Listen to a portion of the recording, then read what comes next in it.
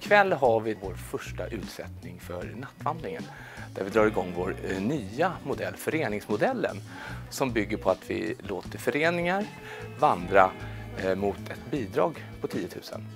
Jag tycker det är viktigt för att eh, visa ungdomarna att vuxna är engagerade och intresserade av vad de gör på kvällar och fritid. Det kan hända allt möjligt, eh, så som att man får eh, prata, träffa ungdomar, man får se ungdomar som eh, dricker alkohol, det kan finnas ungdomar som tar droger, men det finns även ungdomar som bara sitter och pratar och har det trevligt. Jag tycker det ska bli väldigt spännande. Det är några timmar en fredagkväll eller en lördagkväll och det kan vi nog alla avvara.